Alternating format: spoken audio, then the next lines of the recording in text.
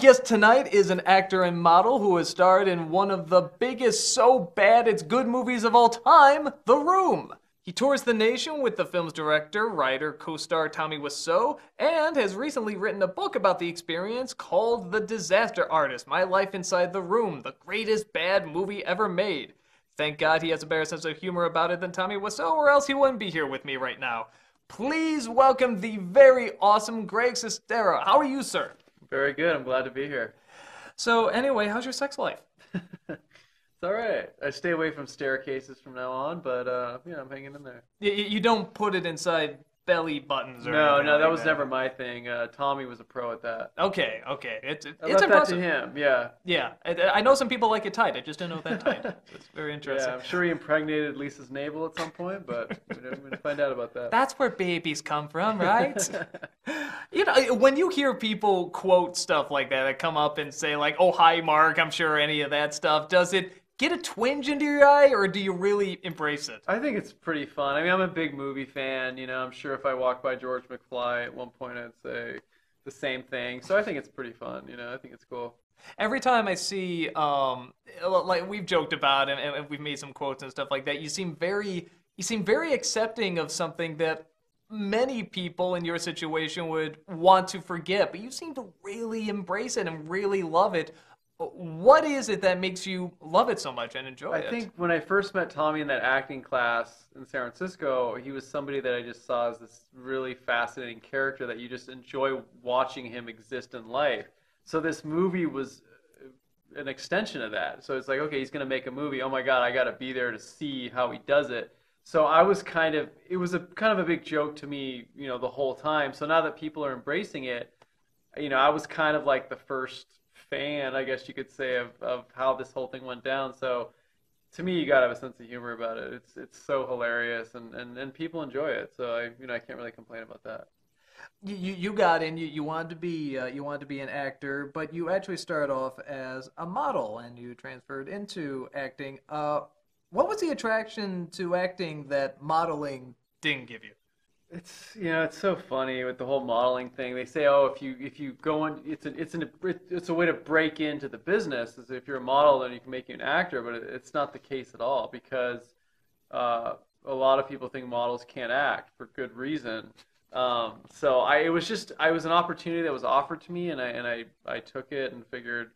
Um, someone said that it's it's the starving waiter job that allows you to eat lobster. I don't know if that's even true, but uh, yeah, it was just I thought it was a way to get into acting, and it totally wasn't. I mean, the odd jobs you have to do modeling, it's it's such a, a crazy business that um, yeah, um, it was an experience to say the least. Um, you of course have been in such not just the room, but other demanding roles like in Retro Puppet Master and Days of Our Lives. Uh, roles a lot of people probably wouldn't be aiming for. When you got roles like that, was that something where you got discouraged, or did you just say that's just part of the game? You know what? I moved to LA. My fourth audition, I booked the lead in this movie, Retro Puppet Master. I had never really had a speaking part on camera, and we were shooting in Romania. I figured, know, why not? Why not do it? Uh, I had no idea really what it was gonna be. Um, I didn't watch any of the sequels or you know prequels, and I uh, I watched it. I watched one. I was like, oh God, should I maybe cancel this? But uh, it was just kind of whatever was offered, you know, at the time. And I went out for a lot of cool scripts that never even ended up getting made. And uh, yeah, just part of the game, I guess, trying to survive, you know, trying to survive the business. Um, you said that you met Tommy in a in an acting class, correct? Of Just all, to, of all places. to, to tell me, just tell me the experience of meeting that man. So I'm sitting in this dark basement on Sutter Street in San Francisco. That sounds like where one would meet Tommy Wiseau, but keep going. yeah. And uh, I was just trying to figure out: is this guy a vampire? Is he a caveman? Like, what's this guy's deal? And he goes up on stage, uh, very commanding presence. He, everyone's just kind of watching him, and he picks around backstage for kind of a long time. We're all sitting there. And he comes out with a, you know, stool. He s- slams it down. He starts performing the Shakespearean sonnet. Everybody's like just in awe. I mean, people that are normally really quiet or like laughing, they're trying to con- you know contain their laughter, and I'm just I'm sitting here going, what's what's he going to do next? The teacher was very intimidating, so I wondered how he was going to interact with her. And so when it came to an end, uh, she just was like, "What are you trying to do?" And he's like, "I performed the sonnet."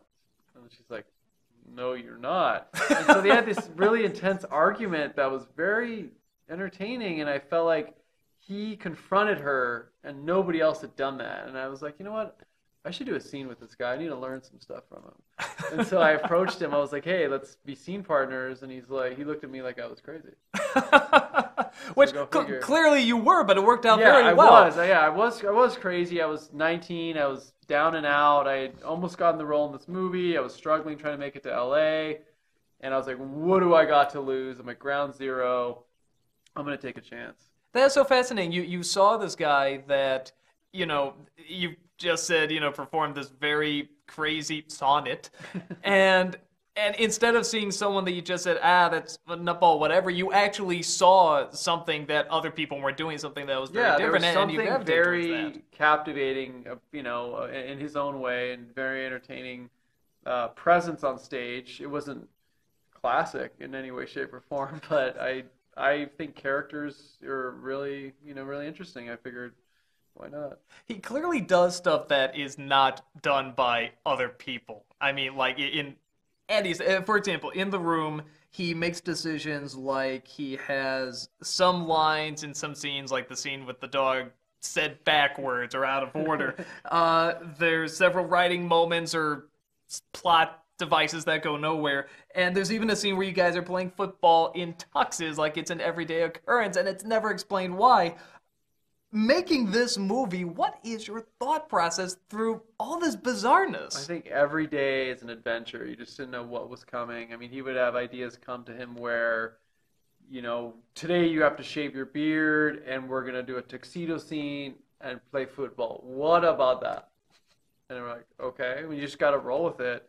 Uh, he, he put as many topics into the film, and this breast cancer, football, tuxedos, like all these things come in that aren't really tied in with the plot in any way. It's just all these kind of social issues he wanted to pack into this film to make it as important as possible. And so you just kind of along for the roller coaster, and hopefully you don't, you know, end up with your head cut off. you your attitude on all this seems to be very optimistic. Just just take the ride, go for it, take the ticket, take the ride. Um when you do scenes like the love scene in there, where you have to expose quite a bit, does that ever get you nervous, or is that just another part of the game? Yeah, I did. You know what? The big thing with this movie when I when I said I was gonna do it reluctantly was I'm only gonna have my shirt off. Hmm. So because Tommy was big on revealing a lot, and so I was like, pants stay on. He's like, oh sure, no problem, no problem. So yeah, the love scenes were still very very painful to watch. I mean, you're shooting in a small stage. It's about 120 degrees. Um, no one's really comfortable. You're on this staircase that's incredibly uncomfortable. That I don't think it's ever. I don't even think people, you know, have done it there before. Who even for good reason. fantasizes about that? It's not. It's there's nothing appealing about it. I mean, if you just head a little ways up, there's a bed right up the stairs. I mean, it's, it's obviously too much of a effort. jar. Yeah, and you can get caught if you're sitting right there on the staircase. The door opens. You're you have, there's no excuses you can make. So the whole thing was just kind of awkward, and it really looks that way on screen. I mean, it's the part where, when the movie comes on where I just bolt for the exit. now, I, fast forward. I, I, I will disagree a little bit that there's no excuse because if you were to say, why would we be making love on a staircase, a lot of people would say, I don't know, I have nothing that can validate that. So I disagree a little bit with that. So maybe it was actually smarter than we're giving Tommy credit for. That's true. Or, or maybe I think Mark was just so overcome with passion for Lisa that he just couldn't wait. to have her. yeah, she was just too beautiful. To- totally possible. Um, obviously, you you had this fascinating relationship with, with Tommy Wiseau. Uh, you seem to have a good friendship, but you're definitely not below throwing a few punches here and there, or, or at the very least, just acknowledging what you see about this guy. Just in general, how would you describe your relationship with him? Because it does seem very unique, but also it seems like you will throw the jokes in, but it's still very loving. Yeah, I, I it's definitely there's I have a lot of um, you know appreciation and, and in some ways admiration for Tommy for sticking through this whole process for this many years and making the project he wanted to make. uh, I I do see it as for what it is. It's just a very bizarre cinematic experience, and I think that's nothing to take away from anything that Tommy tried to do or accomplished. I think it's just fun in the culture of movies to, you know, treat this film for what it is. And um, but yeah, I think I, with especially with the book, it was important for me to be as honest as possible about what my experience was like, um, and also be you know respectful towards what Tommy's privacy and what he would want. Has Tommy read the book? Uh, he's read parts of it. He said, "I support 50%." is 50% all he's read, or is 50% all he Uh, likes? That's a good question. I'm, I'm waiting for, for the other shoe to drop. Wonder what he's gonna say. You know, I'm not going to ask the obvious questions that everybody asks about Tommy Wiseau. Where is he from? Why does he talk the way he talks? What is he? Uh, but I do. What do you feel is his thought process? What is his logical reasoning with how to deal with the world in general? Because clearly nobody else understands it, and I think the person who can possibly come the closest to understanding it is you. What is his thought process? Yeah, it's it's funny. And there's a chapter in the book called Tommy's Planet, um, and I really believe the way he interprets things, the way he thinks. There's no one else out there like him, and I noticed that very early on. Uh, he told me a story um, that one of his goals was to have like his own planet, his own casino, his you know his own everything, and he handed me this pen that he had made called Tommy's Planet, and he just is totally different. I mean, he he comes up with lines like with the doggy thing. Like a lot of the best things about Tommy are they're improvised. Like those mo the best moments in the film are just him having a reaction, and and I think that's what's great about the room is you're seeing something that you couldn't really find anywhere else because nobody thinks like him and nobody would have put this much energy into making a film without getting anybody else's opinion. Um, and just totally bankrolling the whole thing and pushing it until people finally responded to it. So i think that's what's kept the room going for 10 years is that no one thinks speaks or acts like him and i think people just are trying to figure out what really it is. Do you feel you've understood him better the more you've been with him, or has it just become more of a mystery? I, I've understood a lot more things, but there's there's always parts that I feel like just keep turning over new mysteries and new mysteries. It's like you just keep getting to these dead ends. So I've kind of come to the fact that there's just things I'm never gonna find out, and that's part of the fun, I guess. Um, what is something that people don't know about Tommy Wiseau that you think they should know? I think that Tommy is there's a part to him that's very human and very endearing, and just uh, really uh, really enjoyable. I think he comes off as you know this vampire alien looking guy in the movie, and, and you know in his appearances with the sunglasses. But yeah, there's just, just this human side to him that's just it's so fun going through these experiences with, like getting on a plane or watching him go through airport security. He's just got this really. There's just no one else really like him. And what is something about you that people don't know that you think they should know? Um, that I am nothing like Mark in the room. You're not an adulterer? Come on, man. I looked at you and I'm like, dude, he totally cheated on his wife. yeah, no, I think. Uh, yeah, I'm probably the opposite of Mark. So, for for better or for worse. You know, I was gonna say you don't hang any pictures of spoons on your wall, and that just leads me to a question I think now. What is up with the spoon on the wall? Yeah, the spoon on the wall, or the spoon on the on the the table there. It's basically they just didn't have time to put and change a picture and put you know take out the stock photo, which is what it was. Um, they were they were trying to get a picture of Johnny and Lisa in there, which would have made sense that they have framed pictures of their couple um, on the table. But you know, Tommy's like, we don't have time, so they just left this framed picture of a spoon in there. So So, that stock photographer should be pretty happy that all these screenings, you know, all over having inspired these volleys of plastic spoons. Oh, if only we, if only you remember like the photographer it was from, we could do a plug for it just right now. know, if you right? want pictures of, and people like business would go booming for that, like just that spoon, like that picture of somebody tight, just that Oh, A picture of a spoon. You never thought it would have inspired that. it'll turn to like this great kitsch art, like the dogs playing poker and stuff like Yeah, that. So yeah. everyone had this picture of a spoon. It's like, ah, you don't get it. Yeah. So ah, when, when we had his name, maybe, maybe we'll get in the future. Yeah. Maybe we'll put a He'll come under. forward and be like, I took that picture. Yes. um, you know, you, you got this this book, this disaster artist. Obviously, you really want to tell this story. What made you? What made you actually want to write it down and share it with everybody? Um, I, ever since I made this movie, I've always been asked why. What was the purpose? Why were you in it? What were you thinking? Um, and I just felt to do the story justice for Tommy and myself was really just to tell the whole story of how crazy this ride was. That it's actually a lot crazier than the movie itself. And I felt more of the stories that I told people, um, they really responded to them. So I felt I just felt compelled by the material to tell it that it's not just this bad movie and just the making of a bad movie, but it's really a story about an unlikely friendship and a, a very surreal take on the American dream that I felt like I hadn't heard before. I've noticed that you have a pretty good impression of Tommy Wiseau. Even just the way you said sonnet was very impressive. Would you be willing to say five phrases in your Tommy Wiseau voice? Sure. Uh, the first one is "It's a me, Mario."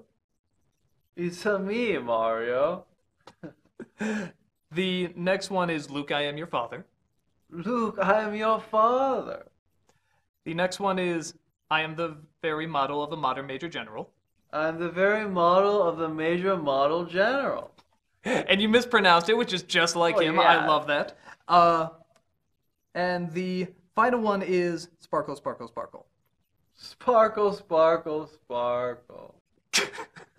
you should really go on tour with that. I'm telling you. It's ingrained in my memory at this point. It's I, I've heard Lanta, I've heard a lot of impressions. That that is a very good impression.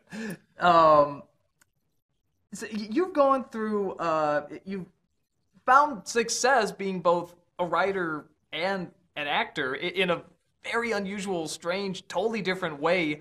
Uh, for other people looking to just get recognition or recognize any of that as either an actor or a writer or both, what would you recommend for them? It's really weird. It's the it's the things that you least expect to come out that do. I mean, with the room, I didn't expect anything from it. I'd worked on things, um, auditioned for movies that thought would go somewhere, and it was the room that people really responded to. So I don't know. It's it, you know I've never been into quote unquote bad movies. I didn't even know there was a market for them.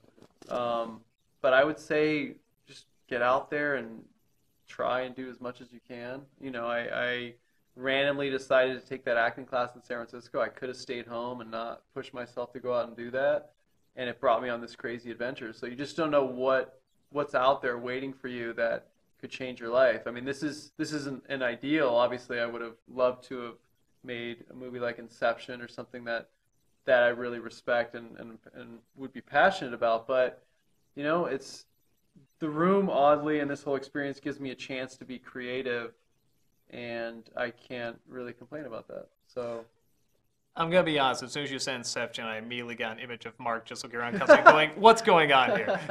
Come on, what's going on here? Wait, wait, what are you doing? What are you doing?" that would have been yeah, that would have been great. But I think Tom Hardy took that over. So I'm sure you auditioned. yeah, right. Um, just the whole experience. It sounds like you're very positive about it. You're very upbeat. If you had to sum it up in a sentence, just everything making the room and what has come of it in one sentence, I would just sum it up. Truth is stranger than fiction. Nicely put.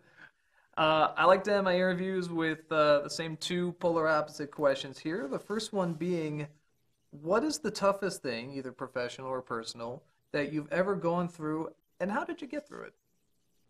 Um, well, I'm going to give a little bit more of a, a shallow experience. I, uh, when I was trying to survive, you know, as a model, um, I got hired in Las Vegas to be Tarzan. really? And uh, the the idiot that I am, I thought it would meant I was going to wear a costume at a convention. So I was like, oh, nobody will see me. I'll get paid to wear a costume at a convention.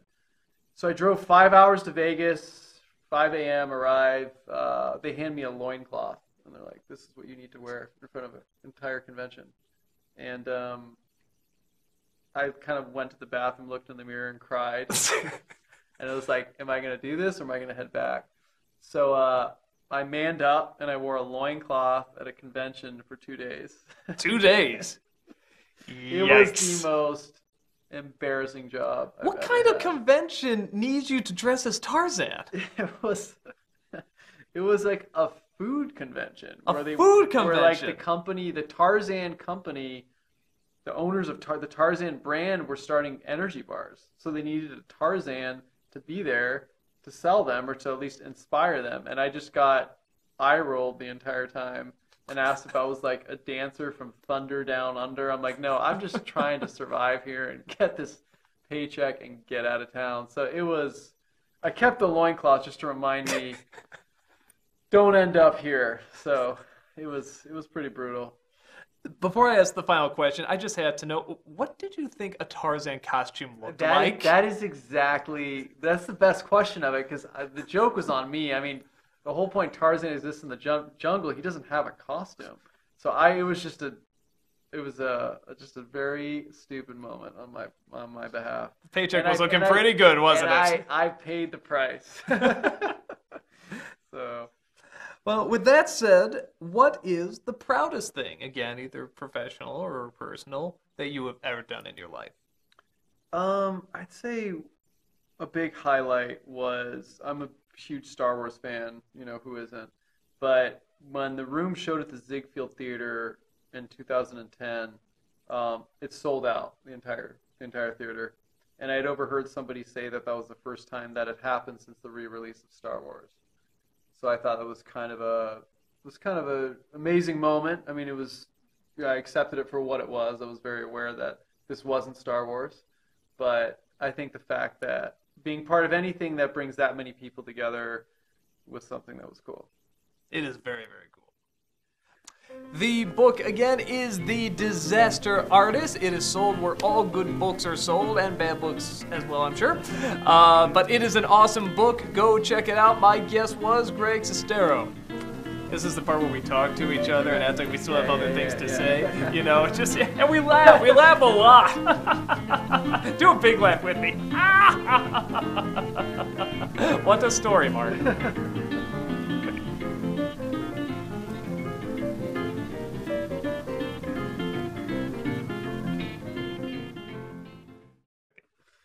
Look good? Yeah, good. Awesome. That was great. And that is it. Great question. Yeah. Perfect blend of kind of room.